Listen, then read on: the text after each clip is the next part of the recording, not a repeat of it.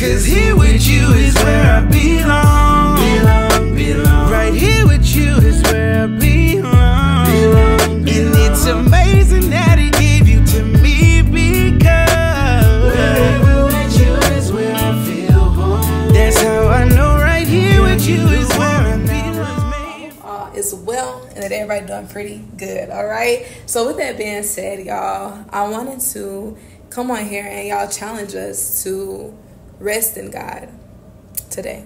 Rest in God today. And what does that look like? Well, ask God, how does that look? How does it look for me to rest in you today? Does that look like physical rest? Does that look like me, you know, reading your word? Like, what does that look like for me today? You know, I know it's trust for sure. It's still trust, y'all.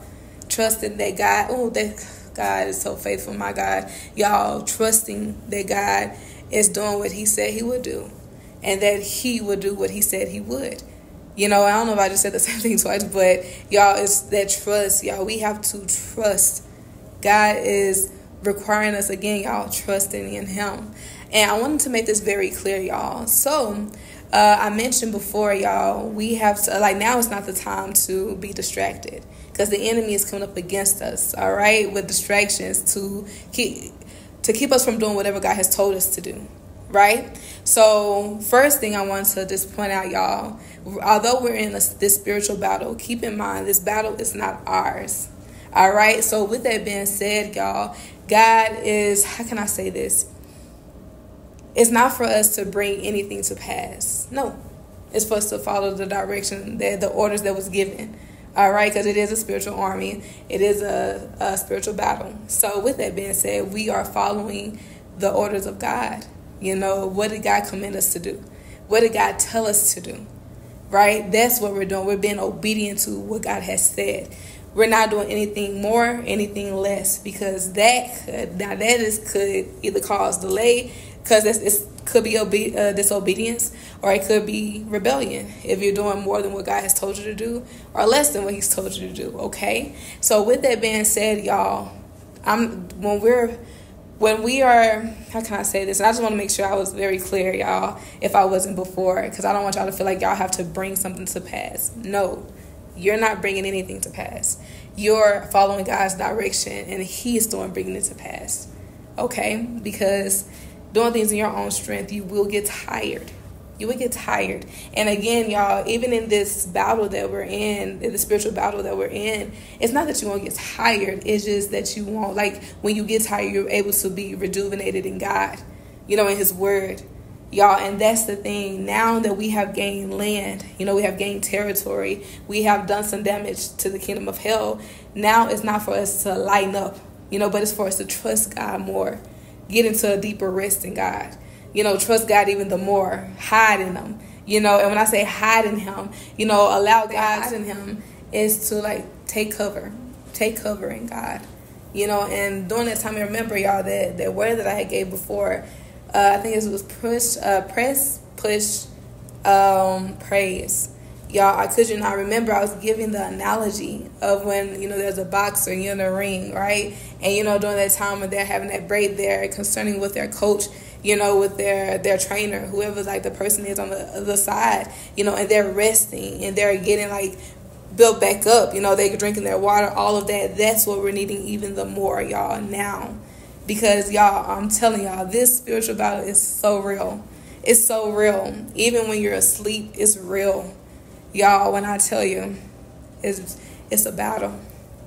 And with that being said we have to continue to um, stay guarded y'all one thing i wanted to mention today was that uh um yeah, I'm sorry, I'm just looking at my window. But uh, one thing I wanted to mention today was um, what what reminded me. I felt like I was reminded of uh, your spiritual weapons, right? Your spiritual weapons, y'all what are they? You know, and the shield of faith, the shield of faith.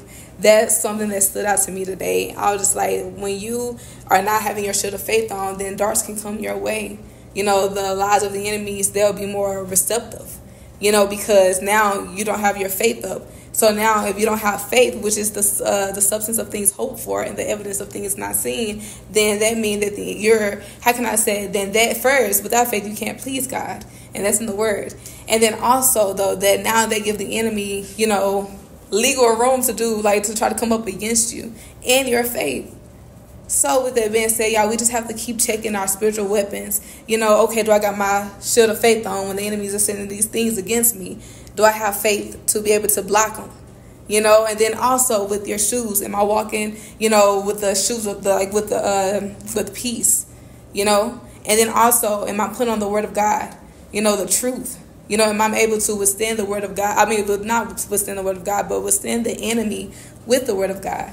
You know, and uh, the belt of truth is like just knowing do you have your um, faith on? You know, do you have faith to believe what God is saying in spite of what you do or don't see? Right? And then second, like the um, just really observing, are you walking in peace? You know, your shoes of peace. Are you putting on the belt of truth? the your your breastplate of righteousness, and we're only made righteousness in God, y'all. You know, through having Jesus as our Lord and Savior, and also repenting. You know, staying in alignment with God, y'all. You know, and then also your helmet of salvation, your sword. You know, in the spirit realm, are you doing some damage? You know, with the Word of God, how are you responding? Are you responding in your flesh, or are you responding with the Word of God? Y'all, we can all do better. So, with that being said, y'all um, I just wanted to, yeah, uh, mention those things. But also, y'all, one more thing was um, stay focused. Just stay focused the best way you can. Even when you're having trouble, Stay focused. Y'all, ask God to help you. Ask God to help you, y'all. And stay, um, how can I say this? So when you ask, like asking God to help you, like, Lord, help me to stay focused because the enemy is sending big or in small distractions you know, to get us get us unfocused on what God has told us to do, so that we could delay things. And again, y'all, we're not we're not bringing anything to pass. No, we're just doing whatever God has called us to do. Our like what He has spoken to us. We're following the orders. Okay, so we're not in charge of bringing anything to pass. No.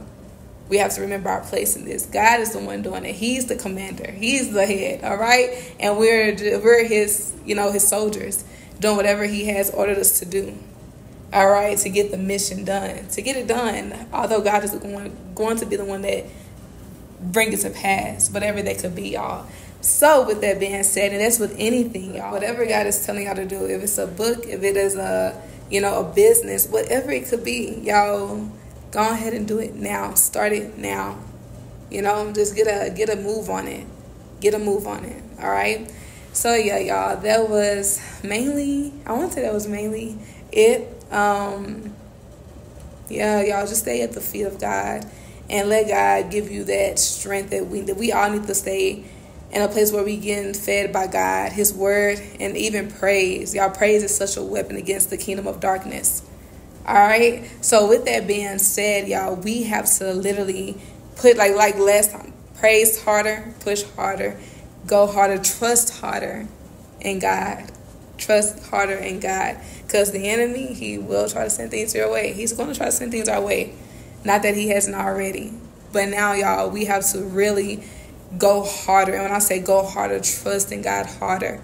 But make sure that our spiritual um, gear is on. I keep doing this because faith, y'all. Faith is what's going to protect your face that's gonna stop the from blowing your head off, okay? And then also, you know that uh, it like can protect any kind of anything on depending on what how you're fighting or whatever it is, what's coming up against you. But yeah, y'all, that faith and everything, you know, all of your uh, all of your uh, armor. Make sure it's all on. We all have to make sure, okay? So with that being said, y'all, I love y'all so much. I'm not sure. Um, however, God lead me to come back on. That's what I'll do. But yeah, y'all, everything is working out. Y'all, we just have to do our part, make sure we doing our part, all right? Because God already doing his. Let's just make sure we do ours, all right? So with that being said, y'all, I love y'all, and let's get it. Let's get it. All right, y'all more. I cannot forget that, y'all. God love y'all more. I might love y'all, all right? But God love y'all more. I just want y'all to always remember that. Hopefully I don't ever forget it in the video. God love y'all more, all right? Deuce.